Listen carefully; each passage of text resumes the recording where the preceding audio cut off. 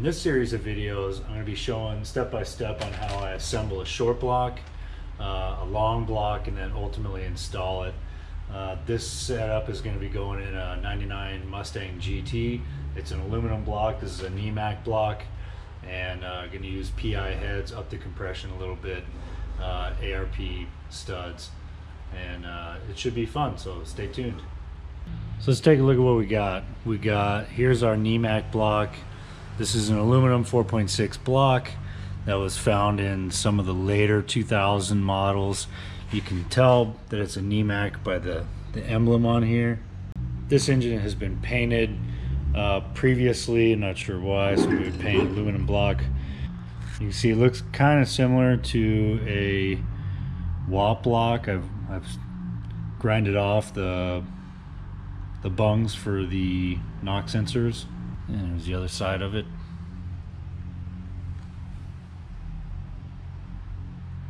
These are the engine blocks that Ford Racing used uh, for a long time for their Aluminator engines.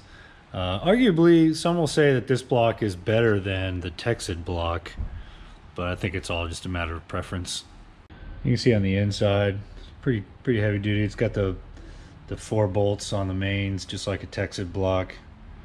These drain backs look a little bit larger than what's on the Teksid. Nemak's only got the one freeze plug on the sides.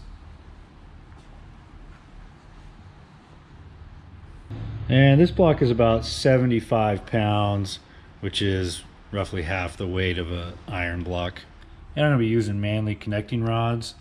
Uh, part number 14042R-8. These ones have the ARP 2000 rod bolts. You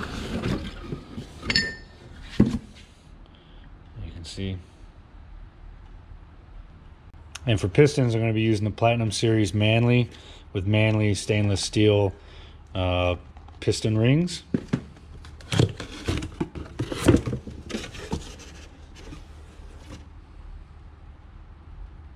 These are 20 over. All this has already been balanced. For fasteners, using ARP, so ARP main studs, and King bearings. These are HP series or high performance series. As far as crankshafts go, this is a non-forged 4.6 crank out of a uh, GT. So here it is. Here's everything that's going to be installed in the short block. Uh, the next few videos are going to be uh, how I go about doing that.